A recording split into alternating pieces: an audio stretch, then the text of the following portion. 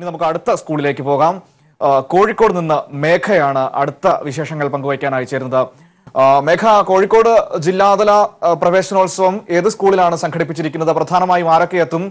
അവിടുത്തെ കുരുന്നുകളുടെയും കുട്ടികളുടെയും ഒക്കെ വിശേഷങ്ങളും കാഴ്ചകളും ഒക്കെ എന്തൊക്കെയാണ്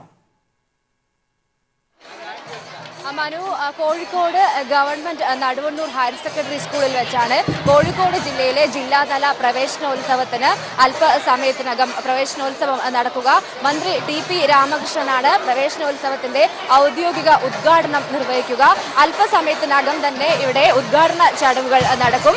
അല്പം മുമ്പ് ഈ ഒന്നാം ക്ലാസ്സിൽ പ്രവേശനം നേടിയ കുരുന്നുകളെ മന്ത്രി ടി പി രാമകൃഷ്ണൻ ആനയിച്ച് സ്കൂളിനകത്തേക്ക് കൊണ്ടുവന്നു. അതിനുശേഷമായിരിക്കും ഉദ്ഘാടന ചടങ്ങുകൾ ആ, നടക്കുക കോഴിക്കോട് ജില്ലയെ സംബന്ധിച്ച് കോഴിക്കോട് ജില്ലയിൽ തന്നെ പൊതുവിദ്യാലയങ്ങളുടെ പൊതുവിദ്യാലയ ശാക്തീകരണ യജ്ഞത്തിന്റെ ഭാഗമായി ഏറ്റവും കൂടുതൽ വിദ്യാലയങ്ങൾ ഹൈടെക് വിദ്യാലയങ്ങളായതും അന്തർദേശീയ നിലവാരത്തിലേക്ക് വിദ്യാലയങ്ങൾ ഉയർന്നതുമായ നിരവധി വിദ്യാലയങ്ങൾ പത്ത് വിദ്യാലയങ്ങളാണ് കോഴിക്കോട് ജില്ലയിൽ ഉള്ളത്.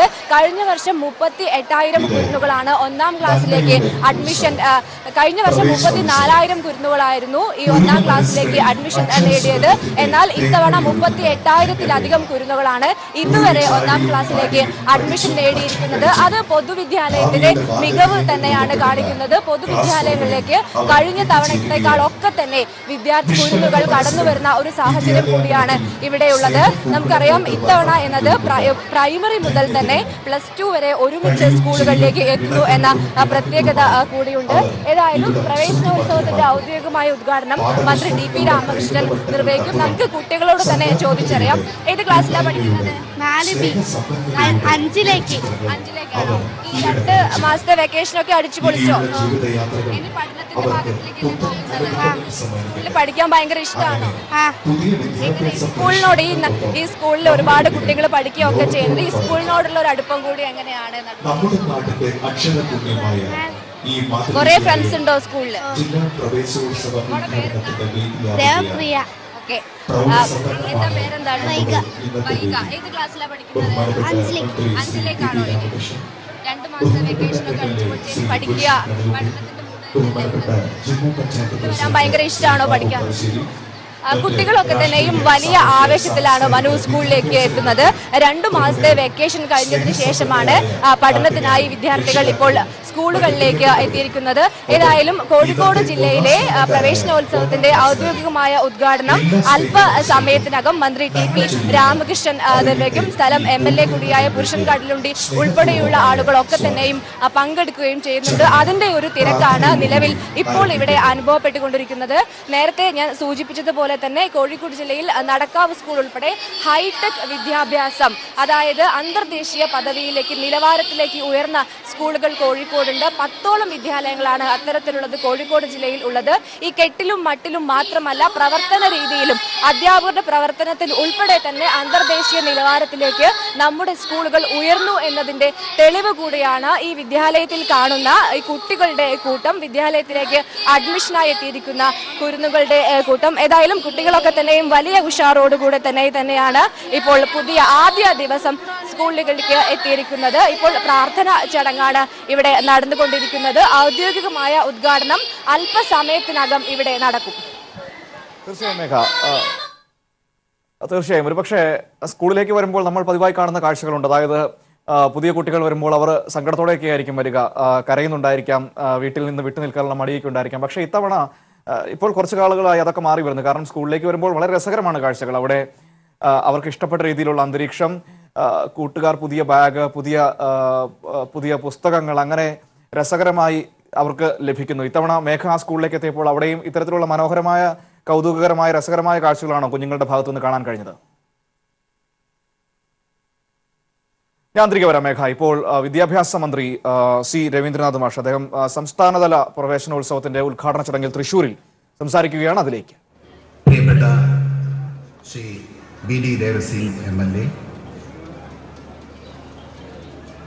Shri Tyson master Arunan master M. L. A.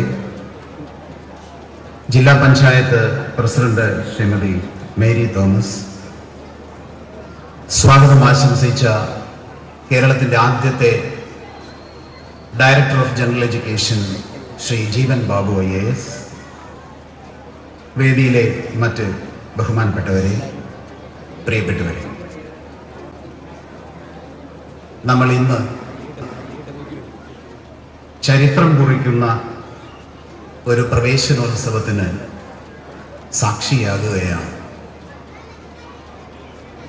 രണ്ട് തരത്തിലാണ് ഈ പ്രവേശനോത്സവം ചരിത്രമാകുന്നത്. ഒന്ന് ഒന്ന് മുതൽ പന്ത്രണ്ട് വരെ എല്ലാ ക്ലാസ്സിലെയും കുട്ടികൾ അക്കാദമിക് വർഷത്തിന്റെ ആരംഭ ദിവസം തന്നെ വിദ്യാലയത്തിലേക്ക് പഠിക്കാൻ എത്തുകയാണ്. പ്ലസ് വണ്ണിലെയും ഒന്നാം ക്ലാസ്സിലെയും കൊച്ചു കൂട്ടുകാർ അതുകൊണ്ട് തന്നെ അതൊരു ചരിത്രമാവുകയാണ് രണ്ടാമത് ഒന്ന് മുതൽ പന്ത്രണ്ട് വരെയുള്ള കുട്ടികൾ ഒന്നിച്ചു വരുന്നത് ഒരു കുടുംബത്തിലേക്കാണ് എന്ന് തോന്നുന്ന വിധം. ഹൈസ്കൂളും ഹയർ സെക്കൻഡറിയും ഇവിടെ അത് രണ്ട് മാത്രമേ ഉള്ളൂ വൊക്കേഷണൽ ഹയർ സെക്കൻഡറികളിലോട്ട് അതും. ഒന്നിച്ച് ചേർന്ന് ഒരൊറ്റ യൂണിറ്റായി ഒരു കുടുംബമായി മാറുന്ന ദിവസമാണ്. അപ്പോൾ ഒരു കുടുംബമായി പ്രവർത്തിക്കുന്ന ക്യാമ്പസിലേക്ക് ആ കുടുംബത്തിലെ എല്ലാ കൊച്ചു കൂട്ടുകാരും ഒരേ ദിവസം കടന്നു വരുന്നു എന്നുള്ളത് ആകസ്മികമല്ല. സംസ്ഥാന സർക്കാർ വളരെ ബോധപൂർവം വളരെ ശാസ്ത്രീയമായി ആസൂത്രണം ചെയ്തതാണ്. കഴിഞ്ഞ മൂന്ന് വർഷക്കാലം കേരളത്തിന്റെ പൊതുവിദ്യാഭ്യാസ സംരക്ഷണ യജ്ഞം എന്താണ് ജനകീയ വിദ്യാഭ്യാസം എന്ന സങ്കല്പം സമൂഹത്തിന് സംഭാവന ചെയ്തു അത് കൂടുതൽ കൂടുതൽ അർത്ഥപൂർണമായി കൂടുതൽ ഉയർന്ന തലങ്ങളിലേക്ക് ഉയരുന്നത് കേരള ജനത പ്രതീക്ഷിക്കുകയാണ്. ആ പ്രതീക്ഷയ്ക്കൊത്താണ് സംസ്ഥാന സർക്കാർ വിദ്യാഭ്യാസ വകുപ്പും. ഇങ്ങനെ എല്ലാം ഒന്നിച്ചു ചേർത്ത് ആസൂത്രണം ചെയ്തത്. അതുകൊണ്ട് യഥാർത്ഥത്തിൽ ഒരു ക്യാമ്പസിൽ ഒരു വലിയ കുടുംബാന്തരീക്ഷം ഉണ്ടായിരിക്കുകയാണ്. എല്ലാവരും ഒന്നിച്ചു ചേർന്ന് ഒറ്റ യൂണിറ്റ് ആയിട്ട് മാറുമ്പോൾ അവിടെ അക്കാദമിക് മികവിന് വലിയ സ്ഥാനമുണ്ടാവുകയാണ് എന്നും നമ്മൾ തിരിച്ചറിയണം. മൂന്ന് യൂണിറ്റുകളായിട്ട് നിൽക്കുമ്പോൾ ഉണ്ടാകുന്ന നിരവധി പ്രശ്നങ്ങളെല്ലാം ഒഴിവായി. ഒരു യൂണിറ്റ് എന്ന രീതിയിൽ ഒരു പ്രിൻസിപ്പൽ എന്ന രീതിയിൽ അതിന് നേതൃത്വം കൊടുത്ത് ഒരു കുടുംബത്തെ നയിക്കുമ്പോൾ ആ കുടുംബത്തിൽ എല്ലാവർക്കും ഉണ്ടാകുന്ന മനസ്സിന്റെ സ്വസ്ഥത. അത് ആ യൂണിറ്റിന്റെ അക്കാദമിക് മികവിലേക്ക് നയിക്കും എന്ന കാര്യത്തിൽ സർക്കാർ ഒരു സംശയവുമില്ല. അക്കാദമിക് മികവാണ് വിദ്യാലയത്തിന്റെ മികവ് എന്നുള്ളതാണ് നമ്മുടെ മുദ്രാവാക്യം. അക്കാദമിക് മികവ് ഉയർന്ന് അന്താരാഷ്ട്ര തലത്തിൽ എത്തി നിൽക്കണം എന്നുള്ളതാണ് നമ്മുടെ ആഗ്രഹം. അതിന് കഴിഞ്ഞ മൂന്ന് വർഷം നിരവധി പരിപാടികൾ നമ്മൾ സജ്ജീകരിച്ചു. ഇതാ എല്ലാം ഒന്ന് എന്ന രീതിയിൽ വലിയൊരു കുടുംബാന്തരീക്ഷത്തിലേക്ക് വന്ന് അക്കാദമി വർഷം ആരംഭിക്കുന്നു. ഇത് അന്താരാഷ്ട്ര നിലവാരത്തിൽ അക്കാദമി മികവ് എത്തിക്കുന്നതിന്റെ ഒരു ഘട്ടമാണ് സുപ്രധാനമായ ഘട്ടമാണ്. ഇതെല്ലാം നേടിയെടുത്തത് കേരളത്തിൽ എല്ലാവരുടെയും സഹകരണം കൊണ്ടാണ്.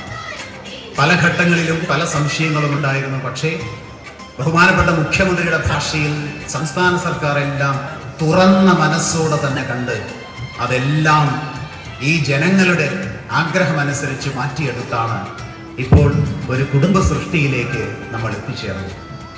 സംസ്ഥാന സർക്കാരിന്റെ ദീർഘവീക്ഷണം തുറന്ന മനസ്സും ബഹുമാനപ്പെട്ട മുഖ്യമന്ത്രിയുടെ ഈ മേഖലയിലുള്ള നിർദ്ദേശങ്ങളും ഈ ഒരു ഘട്ടത്തിൽ നമ്മൾ സന്തോഷപൂർവം നന്ദിപൂർവം ഓർക്കുകയാണ്.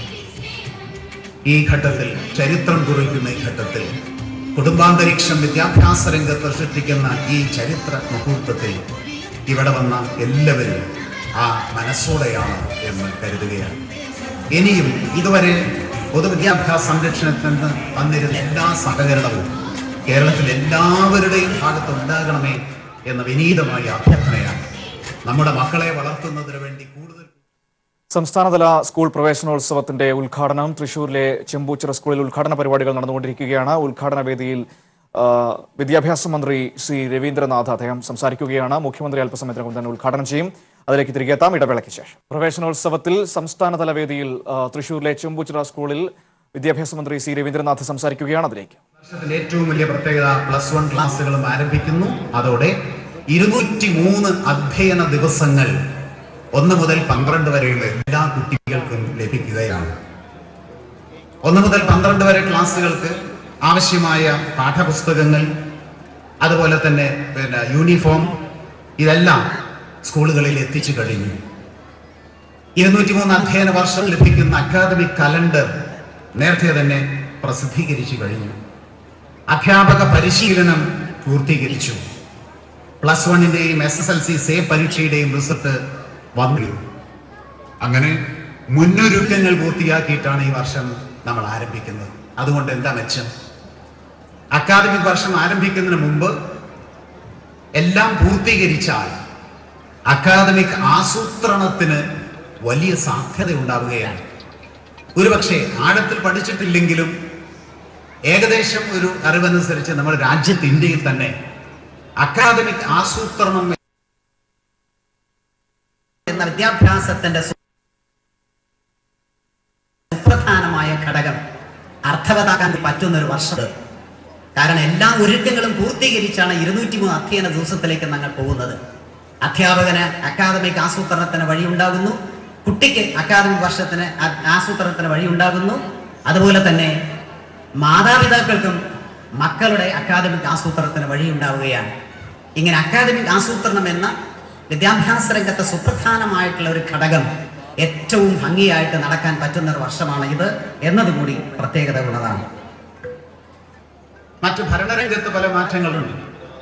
സ്റ്റാഫ് ഫിക്സേഷൻ അതുപോലെ തന്നെ അപ്പോയിന്റ്മെന്റ് അപ്രൂവൽ വർഷങ്ങളായി നിൽക്കുന്ന വലിയ പ്രശ്നങ്ങളാണ് അതിൽ ഏറ്റവും പ്രധാനപ്പെട്ടത് അപ്പോയിന്റ്മെന്റ് അപ്രൂവൽ ഒരിക്കൽ കൂടി വളരെ വേഗത്തിൽ ഒരു ചെറിയ ഇടവേളയ്ക്ക് പോകുന്നു. സ്കൂൾ പ്രവേശനോത്സവത്തിന്റെ സംസ്ഥാനതല ഉദ്ഘാടന ചടങ്ങിലേക്ക് തിരികെ പോകുന്നു. നമ്മളെ ഈ സമൂഹം പ്രതീക്ഷിച്ചിരിക്കുന്നു.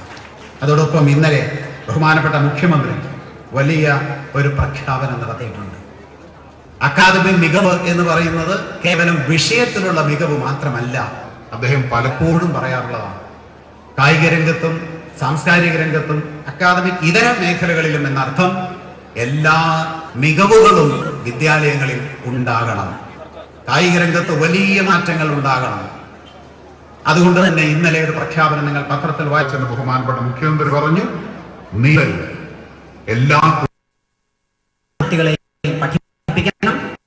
നീന്തൽ പാഠ്യപദ്ധതിയിൽ ഉൾപ്പെടുത്തണം. വിദ്യാഭ്യാസ വകുപ്പ് പ്രഖ്യാപിക്കുന്നു. ഈ വർഷം തന്നെ ഇത് പാഠ്യപദ്ധതിയിൽ ഉൾപ്പെടുത്തും എന്ന് മാത്രമല്ല നീന്തൽ പരിശീലനം നൽകുന്നതിന് കേരളത്തിലെ എല്ലാ മണ്ഡലങ്ങളിലും ഈ വർഷം തന്നെ ഒരു സ്വിമ്മിംഗ് പൂളുകളെ പൂളെങ്കിലും നിർമ്മിക്കും എന്നുള്ള കാര്യമുണ്ട് നൂറ്റി നാൽപ്പത്തി ഒന്ന് സ്വിമ്മിംഗ് പൂളുകൾ ഈ വർഷം തന്നെ ഓരോ മണ്ഡലത്തിലും നിർമ്മിക്കുകയാണ്. ബഹുമാനപ്പെട്ട മുഖ്യമന്ത്രിയുടെ സുപ്രധാനമായ നിർദ്ദേശം വിദ്യാഭ്യാസ വകുപ്പ് ഇങ്ങനെ നടപ്പിലാക്കുക പോരാ രണ്ട് വർഷത്തിനുള്ളിൽ ഇത് സ്വിമ്മിംഗ് പഠിക്കുക എന്ന രീതിയിലുള്ള ഒരു പൂൾ ആയിരിക്കും.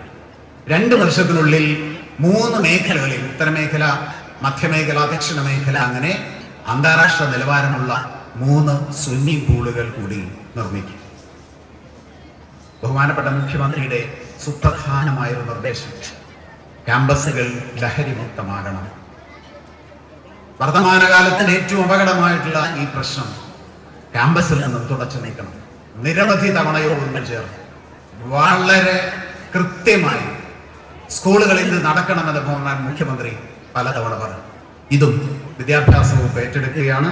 ഈ വർഷം തന്നെ അതിനുള്ള ജനകീയ ക്യാമ്പയിൻ ഇഫക്റ്റീവ് ആയിട്ടുള്ള ജനകീയ ക്യാമ്പയിൻ ആരംഭിക്കും എന്നുള്ള കാര്യം കൂടി ഞാൻ നിങ്ങളെ അറിയിക്കുകയാണ്. ഈ സ്കൂൾ ചെമ്പുച്ചിറ സ്കൂൾ തൃശൂർ ജില്ലയിൽ സുപ്രധാനമായ സ്കൂൾ അവിടെയാണ് ഈ ചരിത്ര പ്രവേശനോത്സവം നടക്കുന്നത്. അത് ഇത്രയും വിജയിപ്പിച്ചത് ഇവിടുത്തെ മറ്റേ പി ടി എയും അതുപോലെ തന്നെ സ്വാഗത സംഘവും ഇവിടുത്തെ അധ്യാപകരും അനധ്യാപകരും എല്ലാവരും ചേർന്നിട്ടാണ്. അവരെ ഈ സമയത്ത് ഞാൻ ഹൃദ്യമായിട്ട് അഭിനന്ദിക്കുകയാണ്. വിദ്യാഭ്യാസ വകുപ്പിന് വേണ്ടി അഭിനന്ദിക്കാൻ വളരെ ഭംഗിയായി സംഘടിപ്പിച്ചു. ഈ സ്കൂളിന് ഈ വർഷം തന്നെ ഹൈസ്കൂൾ വിഭാഗത്തിന് ഏറ്റവും ആധുനികമായ ഒരു ലാബ് വ്യവസ്ഥ ലാബ് സിസ്റ്റം കൂടി ഉണ്ടാക്കും എന്നുള്ള കാര്യം ഞാൻ നിങ്ങളെ അറിയിക്കുകയാണ്. ഇത്തരത്തിലാണ് നമ്മൾ ഈ പ്രവേശനോത്സവം ആരംഭിക്കുന്നത്.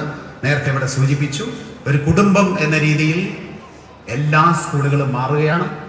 എല്ലാ ചെറിയ യൂണിറ്റുകളും high school higher secondary vocational higher secondary ചേർന്ന് ഒറ്റ യൂണിറ്റ് ആയിട്ട് മാറുകയാണ്. അവിടെ പ്രിൻസിപ്പൽ ഉണ്ടാവും വൈസ് പ്രിൻസിപ്പൽ ഉണ്ടാവും. പ്രിൻസിപ്പൽ വൈസ് പ്രിൻസിപ്പൽ എന്ന രീതിയിൽ ഉണ്ടാവുമെങ്കിലും അവരുടേതായ നിലനിൽക്കുന്ന ഒരു നിലവിലുള്ള എന്തുണ്ടായിരുന്നു അത് അതുപോലെ തന്നെ നിലനിൽക്കുന്ന വേഗം തിരികെ വരാം. ചെറിയ ഇടവേളയ്ക്ക് ശേഷം.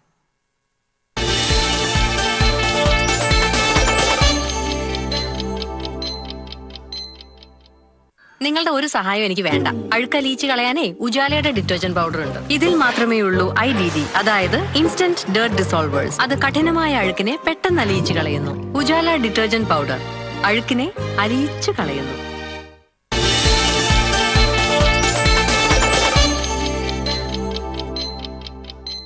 പ്രവേശനോത്സവത്തിലേക്ക്. അതുപോലെ തന്നെ മറ്റേ പലതരത്തിലുള്ള പലതരത്തിലുള്ള പ്രശ്നപരിഹാരങ്ങൾ. അവരുടെ പ്രമോഷൻ കൂടുതൽ സാധ്യത ഉണ്ടാകുന്നു ആരുടെയും സേവന വേതന ബോസുകൾക്കൊന്നും സംഭവിക്കുന്നില്ല. ഒരു കുടുംബമായി മാറുന്നു എന്ന് മാത്രമേ ഉള്ളൂ. മറ്റൊരു മാറ്റവും ഇവിടെ നടക്കുന്നില്ല. അതേസമയം പലവരുടെയും പ്രശ്നങ്ങൾ കായിക അധ്യാപകർ കായിക മേഖലയ്ക്ക് വലിയ പ്രാധാന്യം നൽകാൻ പോവുകയാണ്. അതുകൊണ്ട് തന്നെ കായികാധ്യാപകരുടെ നിരവധി പ്രശ്നങ്ങൾ ഇപ്പോൾ ഹയർ സെക്കൻഡറി കൂടെ വരുമ്പോൾ കുട്ടികളുടെ എണ്ണം കൂടി വരുന്ന ഒരു സാഹചര്യത്തിൽ കായികാധ്യാപകരുടെ പ്രശ്നപരിഹാരത്തിനുള്ള സാധ്യത ഉണ്ടാവുകയാണ്. ഞാൻ ദീർഘിപ്പിക്കുകയല്ല ഓരോ അധ്യാപകനും ഓരോ ജീവനക്കാരും അവർക്കൊന്നും നഷ്ടപ്പെടുകയില്ല. കൂടുതൽ കൂടുതൽ സാധ്യത ഉണ്ടാവുകയാണ് കൊച്ചുമക്കളെ കൂടുതൽ കൂടുതൽ വളർത്താനുള്ള അവസരം ഉണ്ടാവുകയാണ് എന്ന് തിരിച്ചറിയണം എന്ന് വീണ്ടും ഒരിക്കൽ കൂടി അഭ്യർത്ഥിക്കുകയാണ്. ഏതായാലും സമൂഹത്തിന്റെ വലിയ പ്രതീക്ഷ. സംസ്ഥാന സർക്കാരിന്റെ ഏറ്റവും വലിയ നാല് കമ്മീഷനുകളിൽ ഒന്ന് പൊതുവിദ്യാഭ്യാസ സംരക്ഷണ യജ്ഞം മാറിയിരിക്കുകയാണ്. അത് കൂടുതൽ കൂടുതൽ ജനങ്ങളുടെ മനസ്സിൽ ഉണർത്തുവാൻ നമുക്കെല്ലാം കഴിയണം. അത് ഭാവി തലമുറയ്ക്ക് വേണ്ടിയിട്ടാണ്. ലോകത്തിന്റെ നെറുകയിൽ കേരളത്തിന്റെ പുതിയ തലമുറ എത്തിക്കുവാനുള്ള വലിയൊരു ശ്രമം നമ്മൾ എല്ലാവരും ചേർന്ന് നടത്തി വരികയാണ്. എന്നും എല്ലാവരുടെയും സഹകരണം ഉണ്ടാകണം എന്ന് അഭ്യർത്ഥിച്ചുകൊണ്ട് ഈ പ്രവേശനോത്സവം ഇത്ര ഗംഭീരമാക്കുവാൻ സഹായിച്ച എല്ലാവരുടെയും പിന്നെ പ്രവർത്തനങ്ങളെ ഒരിക്കൽ കൂടി ഓർത്തുകൊണ്ട് അക്കാദമി മികവാണ്. വിദ്യാലയത്തിന്റെ മികവ് എന്ന മുദ്രാവാക്യം എല്ലാവരും ഏറ്റെടുക്കണം എന്ന് കൂടി അഭ്യർത്ഥിച്ചുകൊണ്ട് എല്ലാവർക്കും ആശംസകൾ നൽകുകൊണ്ട് നിർത്തുന്നു. നമസ്കാരം. അധ്യക്ഷത വഹിച്ച് സംസാരിച്ച ബഹുമാന്യനായ പൊതുവിദ്യാഭ്യാസ വകുപ്പ് മന്ത്രി പ്രൊഫസർ സി രവീന്ദ്രൻ മാഷിന് സ്നേഹോഷ്മളമായ നന്ദി രേഖപ്പെടുത്തുന്നു. സംസ്ഥാനതല പ്രവേശനോത്സവം തൃശൂർ ചെമ്പൂച്ചിറ സ്കൂളിൽ നടന്നുകൊണ്ടിരിക്കുകയാണ്. അതിന്റെ തത്സമയ ദൃശ്യങ്ങളാണ് നമ്മൾ കണ്ടുകൊണ്ടിരിക്കുന്നത്. മുഖ്യമന്ത്രിയാണ് പ്രവേശനോത്സവം ഉദ്ഘാടനം ചെയ്യുക. വിദ്യാഭ്യാസ മന്ത്രി രവീന്ദ്രനാഥാണ് ഇപ്പോൾ സംസാരിച്ചത്. ഏതായാലും വലിയ ആവേശത്തോടെ കുട്ടികൾ സ്കൂളിലേക്ക് വരുന്ന ഒരു ദിവസം കൂടിയാണ്. ചരിത്രത്തിൽ ആദ്യമായി ഹയർ സെക്കൻഡറിക്കും പ്ലസ് വണ്ണിനും ഇന്ന് ക്ലാസുകൾ തുടങ്ങുകയാണ്. എല്ലാ വിഭാഗങ്ങൾക്കും ഒരുമിച്ച് ക്ലാസുകൾ തുടങ്ങുന്ന വളരെ പ്രധാനപ്പെട്ട സംസ്ഥാനത്തിന്റെ പൊതുവിദ്യാഭ്യാസ മേഖലയുടെ ചരിത്രത്തിലെ ഏറ്റവും പ്രധാനപ്പെട്ട ദിവസങ്ങളിൽ ഒന്ന് തന്നെയാണ്. ഒപ്പം തന്നെ ഹൈസ്കൂൾ ഹയർ സെക്കൻഡറി ഏകീകരണം വന്നതിന് ശേഷമുള്ള ആദ്യ പ്രവേശ പ്രവേശനോത്സവ ദിനം എന്ന പ്രത്യേകത കൂടിയുണ്ട് ഇത്തവണ. ഏതായാലും സ്കൂളുകളിലേക്ക് പ്രത്യേകിച്ചും സർക്കാർ സ്കൂളിലേക്ക് ഇപ്പോൾ മുഖ്യമന്ത്രി ഉദ്ഘാടനം ചെയ്യുകയാണ് സംസ്ഥാനതല പ്രവേശനോത്സവം. അതിലേക്ക്.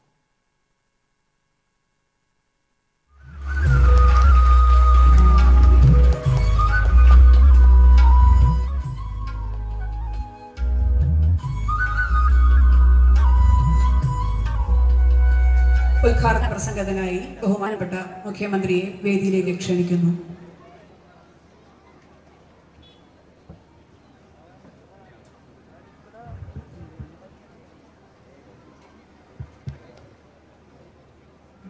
പ്രിയപ്പെട്ട വിദ്യാർത്ഥിനി വിദ്യാർത്ഥികളെ സഹോദരി സഹോദരന്മാർ. ഞാനിങ്ങനെ ഇവിടെ ഇരിക്കുമ്പോൾ വളരെ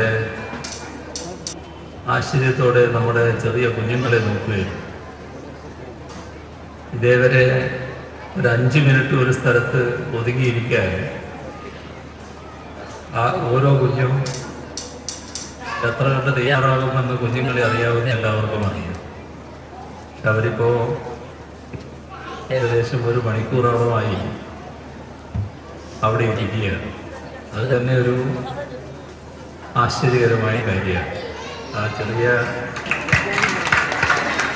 കുഞ്ഞുങ്ങളടക്കം നമ്മുടെ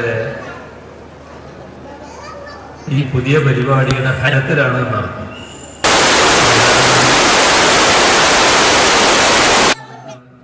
ആദ്യത്തെ ദിവസം സ്കൂളിൽ വരുമ്പോൾ ഉണ്ടാകുന്ന പലവിധ പ്രയാസങ്ങൾ. അതൊന്നുമില്ലാതെ നല്ല സന്തോഷത്തോടെയാണ് ആ കുഞ്ഞുങ്ങളെല്ലാവരും ഇരിക്കുന്നത്. ഇതാണ് നമ്മുടെ നാട്ടിൽ വന്നിട്ടുള്ള പൊതുവിദ്യാഭ്യാസ രംഗത്തെ ഏറ്റവും വലിയ മാറ്റം എന്നത് നാം കാണേണ്ടതായിട്ടുണ്ട്. ഒന്നാം തരത്തിലുള്ള കുഞ്ഞുങ്ങൾ മുതൽ സെക്കൻഡറി തലത്തിൽ പന്ത്രണ്ടാം തരം വരെ പ്ലസ് ടു വരെ. എല്ലാ കുട്ടികളും ഒരേ ദിവസം പഠനം ആരംഭിക്കും. സാധാരണ പ്ലസ് വണ്ണൊക്കെ കുറെ നാൾ കഴിഞ്ഞാണ് ആരംഭിക്കാറുള്ളത്. ഇത് ഈ വർഷത്തെ പ്രത്യേകതയാണെങ്കിൽ അടുത്ത വർഷം മറ്റൊരു പ്രത്യേകത സംഭവിക്കാൻ പോകുന്നത്. അതായത് കേരളത്തിലെ എല്ലാ വിദ്യാഭ്യാസ സ്ഥാപനങ്ങളും അവിടെയുള്ള എല്ലാ ക്ലാസ്സുകളും ഒരു തീയതിയിൽ ആരംഭിക്കും. പ്ലസ് വൺ മുതൽ പോസ്റ്റ് ഗ്രാജുവേഷൻ വരെ ഒരേ തീയതിയിൽ ആരംഭിക്കുന്ന നിലയുണ്ടാവും കാരണം അധ്യയന ദിവസങ്ങൾ വളരെ പ്രധാനമാണ്. അതിന് കുറവ് സംഭവിക്കാതിരിക്കണം. അതിനാവശ്യമായ ക്രമീകരണങ്ങൾ നല്ല രീതിയിലാണ് നടന്നുകൊണ്ടിരിക്കുന്നത്. ഇപ്പൊ ചില കാര്യങ്ങൾ വലിയ വാർത്തയാവുകയാണ്. യഥാർത്ഥത്തിൽ വാർത്തയാവേണ്ട ഒരു കാര്യം അതിലുണ്ടോ എന്ന് ചോദിച്ചാൽ ഇപ്പൊ ക്ലാസ്സിലുള്ള കുട്ടികൾക്ക് പാഠപുസ്തകം സ്കൂൾ തുറക്കുന്നത് ആ ദിവസം തന്നെ കിട്ടുന്നു അല്ലെങ്കിൽ അതിനു മുൻപ് തയ്യാറാണ്. സാധാരണ കാലം വെച്ചാൽ അതിലെന്താണ് ആശയം? അതല്ലേ വേണ്ടത്. പക്ഷെ അത് വലിയ വാർത്തയാണ്. എന്തുകൊണ്ടാണ് വാർത്തയാകുന്നത്? നമ്മുടെ ശീലം അതായിരുന്നില്ല. സ്കൂൾ തുറന്നാലും കിട്ടില്ല. പിന്നെ ഒരു ഫസ്റ്റ് ടേം കഴിഞ്ഞ് ആ ഘട്ടമായാലും കിട്ടില്ല. വേണമെങ്കിൽ ഒരു സ്കൂളിന് ഒന്നുപോലെ ഫോട്ടോ സ്റ്റേറ്റ് എടുത്തുകൂടെ എന്നൊക്കെയുള്ള ന്യായങ്ങൾ പുറത്ത് പ്രചരിച്ചിരുന്നു. ഈ അവസ്ഥയെല്ലാം മാറുന്നതാണ് വാർത്തക്ക് കാരണമായത്. ഇത്തരത്തിലുള്ള മാറ്റങ്ങൾ നമ്മുടെ വിദ്യാഭ്യാസ മേഖലയിൽ വന്നു കഴിഞ്ഞിരിക്കുകയാണ്. ഇവിടെ വിദ്യാലയങ്ങളാണ് നമ്മുടെ കുഞ്ഞുങ്ങളെ ഭാവിയിലേക്കുള്ള ഏറ്റവും ഉത്തമരായ പൗരന്മാരാക്കി വളർത്തിയെടുക്കുന്നത്. ഒട്ടേറെ അറിവുകളാണ് വിദ്യാർത്ഥികൾക്ക് തങ്ങളുടെ പഠനകാലത്ത് സമ്പാദിക്കാൻ കഴിയുന്നത്. സാധാരണ പാഠപുസ്തകങ്ങളിലൂടെ ലഭിക്കുന്ന അറിവ് മാത്രമല്ല ഒരു കുട്ടി ആർജിക്കുന്നത്. അധ്യാപകര് പകർന്നു നൽകുന്ന അറിവുണ്ട്. അതിലേറ്റവും പ്രധാനം അധ്യാപകർ തന്നെയാണ്. ഈ പാഠപുസ്തകത്തിലെ ആ ഭാഗം മാത്രമല്ല മികവുറ്റ അധ്യാപകര് കുട്ടിക്ക് പകർന്നു നൽകുന്നത്. അതിലൂടെ തന്റെ ചുറ്റുപാടിനെ കുറിച്ചും നാടിനെ കുറിച്ചും രാജ്യത്തെക്കുറിച്ചും ലോകത്തെക്കുറിച്ചുമെല്ലാമുള്ള അറിവ് സമ്പാദിക്കുക എങ്ങനെ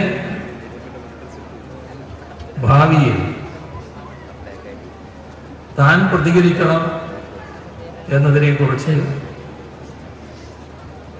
കുട്ടി അറിയാതെ തന്നെ കുട്ടിയെ ബോധവൽക്കരിക്കുന്നു എന്നുള്ളതാണ്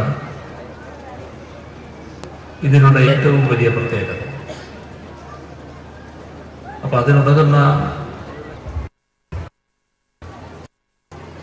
പഠന രീതികൾ. കുട്ടികൾക്ക് ലഭിക്കുക എന്നത് ഏറ്റവും പ്രധാനമാണ്. ഇവിടെ ബഹുമാനായ വിദ്യാഭ്യാസ മന്ത്രി പ്രഖ്യാപിച്ച കാര്യം അങ്ങേയറ്റം സ്വാഗതാർഹമായ കാര്യം. നമ്മുടെ വിവിധ ഘട്ടങ്ങളിൽ ഒരുപാട് ദുഃഖ വാർത്തകൾ കേൾക്കേണ്ടതായി വരുന്നുണ്ട്. കുട്ടികൾ വെള്ളത്തിൽ മുങ്ങിപ്പോയതും അപകടത്തിൽപ്പെട്ടതുമായ വാർത്തകൾ. ജീവൻ വെടിഞ്ഞ കുട്ടികളുടെ കഥകൾ. ഒരുപാട് ദയനീയ സംഭവങ്ങൾ നാം കേൾക്കാനിടവരുന്നു സംഭവിക്കുന്നത് നീന്തൽ അറിയാത്തവരടക്കമാണ് ചിലപ്പോൾ നീന്തൽ അറിയാവുന്നവരുടെ കൂടെ കുളിക്കാൻ ഇറങ്ങുന്നത് നീന്തൽ അറിയുന്ന കുട്ടിക്ക് അറിയില്ല ഈ കുട്ടിക്ക് നീന്താൻ അറിയില്ലായിരുന്നു അപകടത്തിൽപ്പെടുക എന്നാൽ എല്ലാ കുട്ടികളും നീന്തൽ അറിഞ്ഞാൽ തൽക്കാലം പിടിച്ചു നിൽക്കാൻ സാധിക്കും. ഒരു വെള്ളത്തിൽ അകപ്പെട്ടു പോയാലും പിടിച്ചു നിൽക്കാൻ കഴിയുന്ന അവസ്ഥയാണ് അങ്ങേയറ്റം സ്വാഗതാർഹമായ ഒരു കാര്യമാണ് ഈ വർഷം തന്നെ കുട്ടികളെ നീന്തൽ പരിശീലിപ്പിക്കുമെന്ന്. ചില രക്ഷിതാക്കൾ അനാവശ്യമായ ചില കാര്യങ്ങൾ ഇതിന് നിർബന്ധം പിടിക്കാറുണ്ട്. അതായത് കുഞ്ഞ് നീന്തലിന് പോണോ എന്ന് സംശയിക്കുന്ന ചിലരുണ്ടാകാറുണ്ട്. ആ സംശയം കുട്ടിയെ ആപത്തിലേക്കാണ് ഭാവിയിൽ നയിക്കുക. കാരണം ജീവിതത്തിൽ പല സാഹചര്യങ്ങളാണ് നേരിടേണ്ടി വരിക. അപകടം ഏത് വഴിക്കാണ് വരിക എന്നറിയില്ല. അപ്പൊ അപകടത്തിൽ നിന്ന് രക്ഷപ്പെടാൻ ഭാവിയിൽ തന്റെ മകൾക്കോ മകനോ അത്തരമൊരു സ്ഥിതി എന്തായാലും രക്ഷപ്പെടാൻ നീന്തൽ അറിയണം എന്ന ധാരണ എല്ലാ രക്ഷിതാക്കൾക്കും ഉണ്ടാകും. അതോടൊപ്പം പല കാര്യങ്ങൾ വിദ്യാഭ്യാസ ഘട്ടത്തിൽ തന്നെ കുട്ടികൾ അറിയേണ്ടതായിട്ടുണ്ട്. ഇപ്പോ നമ്മൾ കഴിക്കുന്ന ഭക്ഷണം ആ ഭക്ഷണത്തിന്റെ ഓരോ ഇനത്തിന്റെയും ഈ കലോറി എത്രയാണെന്ന് എനിക്കും അറിയില്ല. പലർക്കും അറിയില്ല. എന്താണോ കിട്ടുന്നത് അതിങ്ങനെ വാരി വലിച്ച് കഴിക്കുക എന്നുള്ളത്. എന്നാൽ ഒരു മനുഷ്യന് ഇത്ര കലോറിയാണ് ആവശ്യം എന്നൊരു ബോധം ഉണ്ടാവുകയും ഇന്ന ഇന്ന കാര്യങ്ങൾ ഇത്ര ഇത്ര കലോറി അടങ്ങിയിട്ടുണ്ട് എന്ന അറിവ് ചെറിയ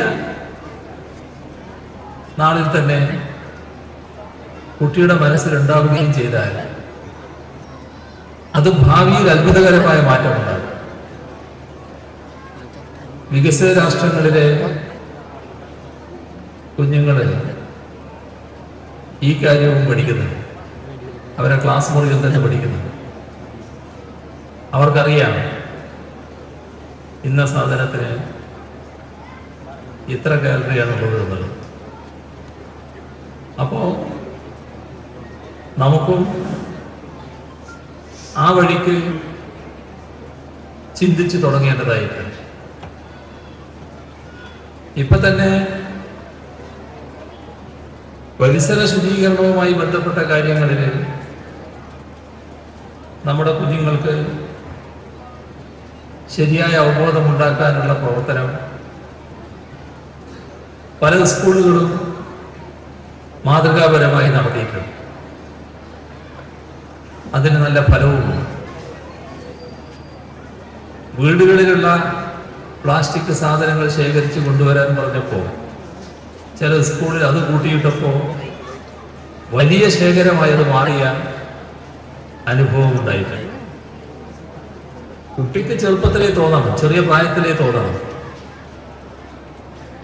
നമ്മുടെ പരിസരം ശുചിയായിരിക്കണം. കുറെ വർഷം മുൻപ് ഒരു മൂന്ന് പ്രധാനികൾ പ്രധാനികളാണ് അവർ ഇപ്പോൾ പ്രധാനികളാണ്. ഒരു സിംഗപ്പൂർ സന്ദർശിച്ചിരുന്നു. അപ്പോൾ ഒരു സാധാരണ നമ്മുടെ ഈ ടിക്കറ്റൊക്കെ ഉണ്ടായാൽ അത് റോഡിൽ ഇടുമല്ലോ അതാണല്ലോ നമ്മുടെ ഒരു ശീലം. അപ്പോൾ ഒരു സ്ഥലത്ത് ഇവരൊരു വാഹനം കാത്തു നിൽക്കുകയാണ് റോഡ് സൈഡിൽ. അപ്പൊ ഇവർക്ക് ഒരാളുടെ പോക്കറ്റിലുള്ള ഈ ടിക്കറ്റിന്റെ കഷ്ണങ്ങൾ അവർ നിലത്ത്. അപ്പൊ കുറച്ച് സ്കൂൾ കുട്ടികൾ അവരുടെ വാഹനത്തിനകത്ത് അപ്പുറം നിൽക്കുന്നു. അപ്പൊ അവരെന്തോ ഒരു അപകട വസ്തുതയെ കണ്ടതുപോലെ ഒരു വല്ലാത്ത മുഖഭാവത്തോടെ ഇവരെ നോക്കുന്നു.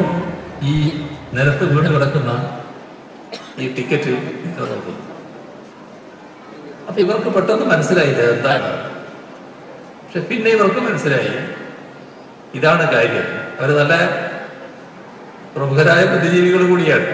അവർക്ക് മനസ്സിലായി ഇതാണ് കാര്യം. വേഗം അവരതെടുത്തു. അപ്പൊ അപ്പുറം അപ്പുറം നോക്കുമ്പോൾ ഒരു ഡസ്റ്റ്ബിൻ ഉണ്ട് ഒരു സ്ഥലത്ത്. അവിടെ കൊണ്ടുപോയി ഇട്ടു. അപ്പൊ കുട്ടികളുടെ മുഖത്ത് നല്ല വളർന്ന ചിരി. ആ ഒരു ബോധത്തിലേക്ക് നമ്മളെ കുട്ടികളെയും എത്തിക്കാൻ കഴിയും. ഇപ്പൊ ചെറുപ്പത്തിലെ കുട്ടികളെ ആ നിലയിൽ പരിശീലിപ്പിക്കുക. നമ്മുടെ പഠന കാര്യങ്ങളിൽ അത്തരം കാര്യങ്ങൾ കൂടി ഉൾപ്പെടുക. ഇത് വളരെ പ്രധാനമാണ്. തന്റെ ഭാവി ജീവിതത്തിന് ഉപകരിക്കുന്ന തനിക്കും സമൂഹത്തിനും വേണ്ടതായ എല്ലാ കാര്യങ്ങളുടെയും അടിത്തറ ഈ വിദ്യാഭ്യാസ കാലത്ത് തന്നെ ഉണ്ടാക്കുക എന്നത് ഏറ്റവും പ്രധാനം. ഇന്നത്തെ കാലത്ത് നമ്മുടെ വിദ്യാലയങ്ങളുടെ പ്രസക്തി വർദ്ധിച്ചു വരികയാണ്. നമ്മുടെ വിദ്യാലയങ്ങൾ നേരത്തെ മുതൽ ഏറ്റവും വലിയ കൂട്ടായ്മയുടെ കേന്ദ്രമാണ്. കേരളത്തിലെ പൊതുവിദ്യാലയങ്ങളുടെ പ്രത്യേകത എന്താ? ഇപ്പൊ കുറച്ചു കാലമായിട്ടുള്ള ഒരവസ്ഥക്ക് മാറ്റവും എന്നാൽ അതിന് മുൻപുള്ള അവസ്ഥ. ഇപ്പോ ഞങ്ങളൊക്കെ പഠിച്ചിരുന്ന കാലമോ അല്ലെങ്കിൽ അതിന് പിന്നീട് കുറച്ച് കാലം വരെ പഠിച്ചിരുന്ന കാലമോ എല്ലാം എടുത്താൽ എല്ലാ കുട്ടികളും പോകുന്നത് ഒരേ വിദ്യാലയത്തിലാണ്. ആ നാട്ടിലുള്ള വിദ്യാലയത്തിലാണ് പോകുന്നത്. അതൊരു പൊതുവിദ്യാലയമാണ്. ഒരു വ്യത്യാസവും അവിടെയില്ല സമ്പന്നനെന്നോ ദരിദ്രനെന്നോ ഉള്ള വ്യത്യാസമില്ല. ഏതെങ്കിലും ജാതീയമായ വ്യത്യാസമില്ല. മതപരമായ വ്യത്യാസമില്ല. ഇതിന്റെ ഭാഗമായി ഉയർന്നു വന്നൊരു സംസ്കാരമുണ്ട്. ഈ കുഞ്ഞുങ്ങൾ തമ്മിൽ അവർ തമ്മിൽ ഇടപഴകുമ്പോൾ ഉയർന്നു വന്ന സ്നേഹബന്ധം. വലിയ തോതിലുള്ള ആത്മബന്ധമായിട്ട് മാറുകയാണ്. ഒരു കുട്ടിയുടെ അമ്മയെ മറ്റു കുട്ടികളും ആ വീടുകളിൽ ചെല്ലുമ്പോൾ അമ്മയായിട്ടാണ് കാണുന്നത്. ചിലപ്പോ ജാതിയുമായിട്ട് നോക്കിയാൽ ആ ജാതിയിൽപ്പെട്ടയാളായിരിക്കണമെന്നില്ല ഈ കുട്ടികൾ മതം നോക്കിയാൽ ആ മതത്തിൽപ്പെട്ടവരായിരിക്കണമെന്നില്ല കുട്ടികൾ ഇങ്ങനെയൊരു മതനിരപേക്ഷ രീതി നമുക്ക് വളർത്തിയെടുക്കാൻ കഴിഞ്ഞിരുന്നു. എന്നാൽ ഇടയ്ക്ക് അതിന് ചില മാറ്റം വന്നു. അതിന്റെ വലിയ തോതിലുള്ള മാറ്റങ്ങൾ വന്നു. ഒരു വരേണ്യ വിഭാഗത്തിന് ചെന്ന് ചേരാവുന്ന വിദ്യാലയങ്ങൾ എന്ന നിലയ്ക്ക് കുറേ വിദ്യാലയങ്ങൾ നമ്മുടെ നാട്ടിൽ ഉയർന്നു അപ്പോഴേക്ക് ഈ പഴയ പ്രൗഢിയോടെ നിന്ന വിദ്യാലയങ്ങളുടെ അവസ്ഥ വല്ലാതെ ശോചനീയവുമായി. കുട്ടികളിരിക്കുന്ന ബെഞ്ചുകൾ അത് പൊട്ടിപ്പൊളിഞ്ഞതായി കെട്ടിടത്തിന്റെ മേൽക്കൂരിയെല്ലാം ചോർന്ന് നിൽക്കുന്ന അവസ്ഥ വന്നു. പലതരത്തിലുള്ള തകരാറുകൾ കെട്ടിടങ്ങൾക്കുണ്ടായി. അപ്പോ കുട്ടികൾ കൂടുതൽ മെച്ചപ്പെട്ട വിദ്യാലയം നോക്കി പോകാനുള്ള ഒരു മാനസികാവസ്ഥയും അപ്പോഴാണ് നാം പൊതുവിദ്യാലയങ്ങൾ സംരക്ഷിക്കേണ്ടതിന്റെ പ്രാധാന്യത്തെ കുറിച്ച് കണ്ടത്. പൊതുവിദ്യാഭ്യാസ സംരക്ഷണം. പൊതുവിദ്യാഭ്യാസം എന്നത് നമ്മുടെ സംസ്ഥാനത്ത് സർക്കാരും സർക്കാർ എയ്ഡഡുമായ സ്ഥാപനങ്ങളിലാണ് നടക്കുന്നത്. ഈ മേഖലയെ ആകെ സംരക്ഷിക്കുക എന്ന തരത്തിലാണ് സർക്കാർ ആലോചിച്ചത്. അതിന്റെ ഭാഗമായാണ് പൊതുവിദ്യാഭ്യാസ സംരക്ഷണ യജ്ഞം എന്ന ഒരു വലിയ മിഷൻ കേരളത്തിൽ പ്രവർത്തനം ആരംഭിച്ചത് ഇത് വന്നപ്പോൾ ഒരു പ്രത്യേകതയുണ്ടായി. അപ്പൊ ഒരു കൂട്ടര് ഒരു കോർപ്പറേറ്റ് മാനേജ്മെന്റ് ആണ്. അവർ പരസ്യ പ്രഖ്യാപനം നടത്തി. ഈ നീക്കം ഞങ്ങളുടെ സ്കൂളുകൾ പിടിച്ചടക്കാൻ വേണ്ടി ഗവൺമെന്റ് നടത്തുന്ന നീക്കമാണ്. ഇപ്പോ പ്രസ്താവന നടത്തിയയാളെ ഞാൻ വിളിച്ച് സംസാരിച്ചു. അപ്പൊ എന്തൊരു തെറ്റിദ്ധാരണയാണ് നിങ്ങൾക്ക് വന്നിട്ടുള്ളത്? ഞങ്ങളൊരു സ്കൂളും പിടിച്ചടക്കാനല്ല ആ സ്കൂൾ അഭിവൃദ്ധിപ്പെടുത്താനാണ് ഉദ്ദേശിക്കുന്നത്. നിങ്ങൾ കോർപ്പറേറ്റുകൾ എന്ന നിലയ്ക്ക് നിങ്ങളെ കോർപ്പറേറ്റിന് അതിനുള്ള സാമ്പത്തിക ശേഷി ഉണ്ടാവും ചിലപ്പോൾ സ്കൂൾ മെച്ചപ്പെടുത്താൻ. ഇവിടെ ഒട്ടേറെ സ്കൂളുകൾ വല്ലാത്ത ശോചനീയാവസ്ഥയിലാണ്. ആ സ്കൂളുകൾ കൂടി മെച്ചപ്പെടേണ്ടതായിട്ടുണ്ട്. നിങ്ങളെ ഏഴിന് സ്കൂളുകൾ ആകെ പിടിച്ചടക്കുക എന്നൊരു ഉദ്ദേശം ഇതിനില്ല എന്ന് അദ്ദേഹത്തോട് പറഞ്ഞ കാര്യം ഞാൻ ഇപ്പോൾ ഓർക്കുകയാണ്. നമ്മുടെ സംസ്ഥാനത്ത് പൊതുവിദ്യാഭ്യാസ സംരക്ഷണ യജ്ഞം നടപ്പാക്കുമ്പോൾ സർക്കാർ ആഗ്രഹിച്ചൊരു കാര്യമാണ് അതിന് പൊതുവെ വിദ്യാഭ്യാസ മേഖല മെച്ചപ്പെടുക എന്നതിൽ നല്ല മാറ്റം വന്നിട്ടുണ്ട്. പക്ഷേ ഉണ്ടായ ഒരു കുറവ് ഈ ഘട്ടത്തിൽ എടുത്തു പറയേണ്ടതുണ്ട് എന്നാണ് തോന്നുന്നത്. പൊതുവിദ്യാഭ്യാസ സംരക്ഷണ യജ്ഞം എന്നത് കേവലം സർക്കാരിന്റെ പണം മാത്രം ഉപയോഗിച്ച് നടത്തേണ്ട ഒരു കാര്യമല്ല. സർക്കാർ സഹായിക്കുന്നു. അതിനോടൊപ്പം സഹായിക്കാൻ നാടാകെ ഒന്നിച്ചു. പൊതുവിദ്യാഭ്യാസ സംരക്ഷണ യജ്ഞത്തിന്റെ ആദ്യഘട്ടത്തിൽ ആ നിലയ്ക്ക് തന്നെ കാര്യങ്ങൾ നടന്നു. വലിയ ഉത്സാഹത്തോടെ പൂർവ വിദ്യാർത്ഥികൾ നാട്ടുകാര് തദ്ദേശ ഭരണ സ്ഥാപനങ്ങളുടെ നേതൃത്വത്തിന് എല്ലാവരും കൂടിച്ചേർന്ന് അതിനുള്ള കമ്മിറ്റികളും മറ്റും രൂപീകരിച്ച് നല്ല പ്രവർത്തനം നടത്തി നല്ലതുപോലെ വിഭവ സമാഹരിച്ചു. പക്ഷേ പിന്നീടുള്ള വർഷങ്ങൾ എടുത്താൽ ആ നില പിന്നെ തുറന്നില്ല. അത്യപൂർവം ഏതെങ്കിലും സ്ഥലം നടക്കുന്നുണ്ടല്ലാതെ മൊത്തത്തിൽ അതൊക്കെ കൈമോശം വന്നു പോയിരുന്നു ഇത് ഈ രീതിയിലല്ല വേണ്ടത്. നമ്മുടെ നാട്ടിലുള്ള ഒരു വിദ്യാലയം അതാണ് ആ നാട്ടിലെ എല്ലാ വിഭാഗം ആളുകളുടെയും ഏറ്റവും ഉയർന്ന പവിത്രമായ സ്ഥലം. അതിനെ കൂടുതൽ മെച്ചപ്പെടുത്തുക. ആ തരത്തിൽ ഇടപെടുക എന്നത് ഏറ്റവും പ്രധാനമാണ്. പൊതുവിദ്യാഭ്യാസ സംരക്ഷണ യജ്ഞത്തിന്റെ ഭാഗമായി സർക്കാർ സ്കൂളുകളിൽ നല്ല മാറ്റങ്ങൾ ഉണ്ടാക്കാൻ കഴിഞ്ഞിട്ടുണ്ട്. എയ്ഡഡ് സ്കൂളുകളിൽ അതിനനുസൃതമായ മാറ്റം വന്നു എന്ന് പറയാൻ കഴിയും? എയ്ഡഡ് സ്കൂളുകളിൽ അതിനനുസൃതമായ മാറ്റം വരാതിരിക്കുന്നതിന് എന്താണ് കാരണം? നേരത്തെ പറഞ്ഞ റിസർവേഷൻ ഒരു ചെറിയ വിഭാഗത്തിന് മാത്രമേ ഉള്ളൂ. നാടിന്റെതായ ഇടപെടൽ വേണം ഒരു സ്വകാര്യ മാനേജ്മെന്റ് സ്കൂളിനെ ഞങ്ങൾ എന്തിനാണ് സഹായിക്കുന്നത്? എന്നൊരു ചിന്ത ചിലർക്കെങ്കിലും ഉണ്ട്. ആ സ്കൂൾ ഇതേവരെ അറിവിന്റെ വെളിച്ചം പകർന്നുകൊണ്ട് ആ നാട്ടിൽ പ്രവർത്തിക്കുകയാണ്. അത് മാനേജറുടെ എല്ലാം കൊണ്ടുപോകുന്നത് നമ്മുടെ നാട്ടിലെ കുട്ടികൾക്കാണ് അതിന്റെതായ മെച്ചം കിട്ടിയിട്ടുള്ളത് കേരളത്തിലെ വിദ്യാഭ്യാസ മേഖലയിൽ ഏറ്റവും ഗണ്യമായ വിഭാഗമാണ് എയ്ഡഡ് മേഖല. അപ്പൊ ആ മേഖല അഭിവൃദ്ധിപ്പെടുക എന്നത് പൊതുവിദ്യാഭ്യാസ സംരക്ഷണ യജ്ഞത്തിന്റെ പൂർത്തീകരണത്തിന് ഒഴിച്ചുകൂടാത്തതാണ് ആ നിരക്ക് തന്നെ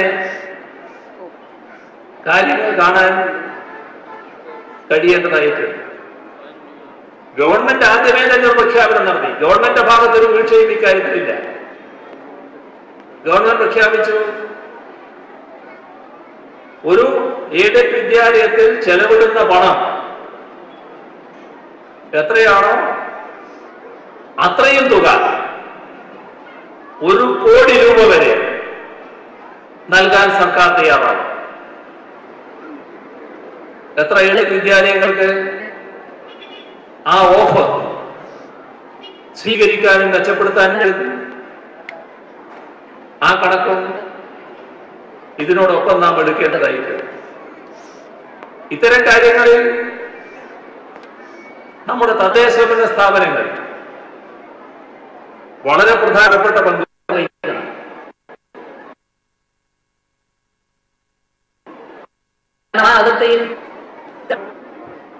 സർക്കാർ സ്കൂൾ ഇല്ലാതെ വന്നേക്കാം.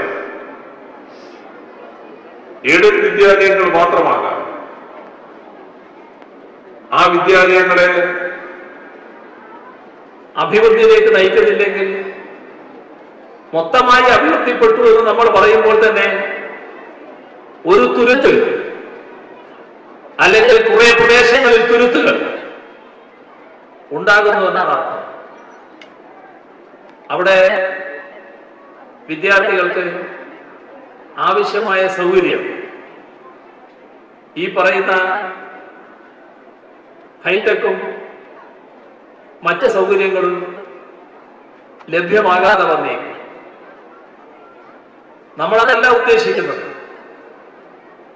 നമ്മൾ ഉദ്ദേശിക്കുന്നത് കേരളത്തിന്റെ ഏത് മുക്കിലും മൂലയിലുമുള്ള വിദ്യാലയമായാലും ആ വിദ്യാലയത്തിലെല്ലാം പഠിക്കുന്ന കുട്ടികൾ ഏറ്റവും മികവുറ്റ അക്കാദമി കേന്ദ്രത്തിൽ പഠിക്കുന്നവരായി മാറണം. ആ നിലവാരത്തിലേക്ക് ആ വിദ്യാലയത്തെ ഉയർത്തിക്കൊണ്ടുവരണമെന്നാണ് നാം കാണുന്നത്. ഈ വർഷം കഴിഞ്ഞ് അടുത്ത വർഷം മുതൽ പ്രൈമറി തലത്തിലേക്കും പൊതുവിദ്യാഭ്യാസ സംരക്ഷണ യജ്ഞത്തിന്റെ പ്രവർത്തനം വ്യാപിപ്പിക്കുകയാണ്. പ്രൈമറി തലമെടുത്താൽ ചില പ്രദേശങ്ങൾ പൂർണമായും എഴുതിട്ടാണ് അപ്പോൾ നല്ല തരത്തിലുള്ള ശ്രദ്ധയും ഇടപെടലും മികവ് വർദ്ധിപ്പിക്കാൻ വേണ്ടി തദ്ദേശഭരണ സ്ഥാപനങ്ങൾ അടക്കമുള്ള അധികാര കേന്ദ്രങ്ങളിൽ നിന്നുണ്ടാവും ഞാനിത് സൂചിപ്പിക്കുന്നത് ചില കേന്ദ്രങ്ങളിൽ അനുഭവം വെച്ചുകൊണ്ടാണ്. പൊതുവിദ്യാഭ്യാസ സംരക്ഷണ യജ്ഞത്തോട് മുഖം തിരിച്ചു നിൽക്കുന്ന ചില ആളുകളുണ്ട്. അത് സമൂഹത്തോട് ചെയ്യുന്ന ഏറ്റവും വലിയ നീതികേടായിട്ട് മാറും. ഓരോ വിദ്യാലയം അഭിവൃദ്ധിപ്പെടുക എന്നത് പ്രധാനമാണ്. വിദ്യാലയം അഭിവൃദ്ധിപ്പെടുത്താനുള്ള പ്രവർത്തനം നടത്തുന്നതോടൊപ്പം മാത്രമേ വിദ്യാലയത്തിന്റെ ശേഷി വർദ്ധിക്കൂ. ചുരുക്കം കുട്ടികളെയും വെച്ച് ഇടതുപക്ഷ ജനാധിപത്യത്തിന് വേണ്ടി ഗവൺമെന്റിന് സമീപനമുണ്ട്. അതുകൊണ്ട് ഇങ്ങനെ തന്നെ പോകാം. എന്ന നിലയെടുത്താൽ അതെല്ലാ കാലവും തുടരാൻ കഴിയില്ല എന്ന് വരും. ഉള്ളെടുത്ത് തറച്ചു നിൽക്കലല്ല. അഭിവൃദ്ധിയിലേക്ക് ഉയരണം. ഓരോ സ്കൂളിനും അതിന്റെതായ രീതിയിൽ അഭിവൃദ്ധി ആർജിക്കാൻ കഴിയണം. ഇതേറ്റവും പ്രധാനമാണ് എന്ന് എൽ പി തലം മുതലുള്ളവർ മനസ്സിലാക്കിക്കൊള്ളണം. അടുത്ത വർഷം മുതൽ എൽ പി തലത്തിലും എൽ പി തലത്തിലടക്കം ഇതുമായി ബന്ധപ്പെട്ട പ്രവർത്തനങ്ങൾ വ്യാപിപ്പിക്കാനാണ് സർക്കാർ ഉദ്ദേശിക്കുന്നത്. പൊതുവിദ്യാഭ്യാസ സംരക്ഷണ ഭാഗമായി പൊതുവെ മെച്ചപ്പെട്ട അവസ്ഥ.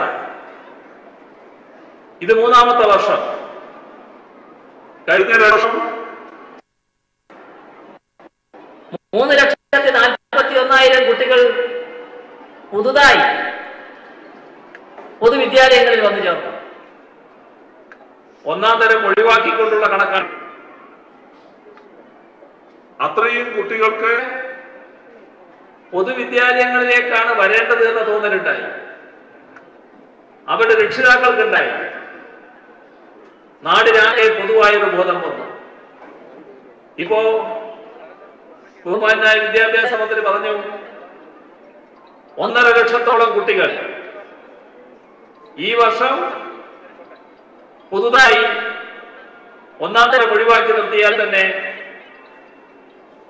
പൊതുവിദ്യാലയങ്ങളിലേക്ക് വന്നു കഴിഞ്ഞു. ഇതാണ് മാറ്റം. ഈ മാറ്റമാണ് നാം ആഗ്രഹിച്ചത്. പൊതുവിദ്യാഭ്യാസം സംരക്ഷിക്കുക എന്നത് ഇത്തരം നടപടികളിലൂടെ മാത്രമേ സാധിക്കൂ. അതിന് സ്കൂളിന്റെ പശ്ചാത്തല സൗകര്യം വർദ്ധിക്കണം. അക്കാദമിക് മികവ് വർദ്ധിക്കണം. ഇത് രണ്ടിനും ഉതകുന്ന നടപടികളാണ് സർക്കാർ സ്വീകരിക്കുന്നത്? എന്നാൽ ആവർത്തിച്ച് ഓർമ്മപ്പെടുത്താനുള്ള കാര്യം എല്ലാറ്റിനും സർക്കാരിനെ മാത്രം ആശ്രയിക്കേണ്ടതില്ല. നമ്മുടെ നാടിന്റെ വിഭവശേഷി കൂടി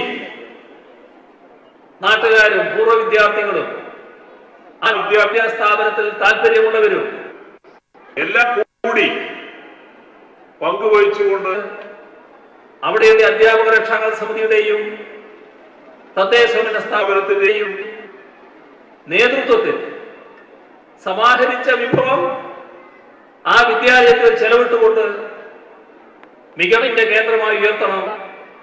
അത്തരം നടപടികൾ കൂടി സ്വീകരിക്കണം എന്നാണ് പൊതുവെ അഭ്യർത്ഥിക്കാനുള്ളത്. മറ്റു കൂടുതൽ കാര്യങ്ങളിലേക്ക് ഞാൻ കടക്കുന്നില്ല. പുതുതായി ഒന്നാം തലത്തിലേക്ക് വരുന്ന കുരുന്നുകൾക്ക് എല്ലാവിധ ആശംസകളും നേരുന്നു. പത്ത് വരെ പഠിച്ചവരാണ് പതിനൊന്നാം തരത്തിൽ വരുന്നത്. അതുകൊണ്ട് അവർക്ക് പ്രത്യേക പ്രയാസമൊന്നും ഉണ്ടാകാനില്ല. എങ്കിലും അവർക്കും ആശംസകൾ നേരുന്നു. ഈ അവധിക്കാലം ആഘോഷ തിമിർപ്പോടെ ആഘോഷിച്ചവരായിരിക്കും നിങ്ങൾ എല്ലാവരും ഇനി അതേ വാശിയോടെ പഠിത്തത്തിൽ കേന്ദ്രീകരിക്കുക. അതേസമയം സമൂഹത്തിന് ഏറ്റവും ആവശ്യം വേണ്ട എല്ലാ ഗുണങ്ങളും സമ്പാദിച്ചുകൊണ്ട് മുന്നേറുക. ഇവിടെ നേരത്തെ വിദ്യാഭ്യാസ മന്ത്രി പറഞ്ഞ ഒരു കാര്യവും കൂടി പരാമർശിക്കേണ്ടതുണ്ട് എന്നാണ് തോന്നുന്നത്. വിശദമായി ഞാൻ അതിൽ പോകുന്നില്ല. നമ്മുടെ വിദ്യാലയങ്ങളിൽ നാം എല്ലാം ആഗ്രഹിക്കുന്നത് നമ്മുടെ സമൂഹം പൊതുവെ ആഗ്രഹിക്കുന്നത് നമ്മുടെ നാടിന്റെ. എന്നാൽ ആ വാഗ്ദാനങ്ങളെ ഇവിടെ വെച്ച് തന്നെ നശിപ്പിക്കണം എന്ന് ചിന്തിക്കുന്ന ഒരു കൂട്ടര് നമ്മുടെ വിദ്യാലയങ്ങളെ കേന്ദ്രീകരിക്കുന്നത് അതാണ് ഡ്രഗ്സ് മാഫിയ നമ്മൾ പലരെയും മാഫിയ എന്ന് വിളിച്ചിട്ട് ഈ യഥാർത്ഥ മാഫിയെ മറന്നുപോയി. ഇവരാണ് യഥാർത്ഥ മാഫിയ? വേണ്ടാതെ എല്ലാ മാഫിയ എന്ന് വെച്ച് ശീലിച്ചവരാ നമ്മൾ.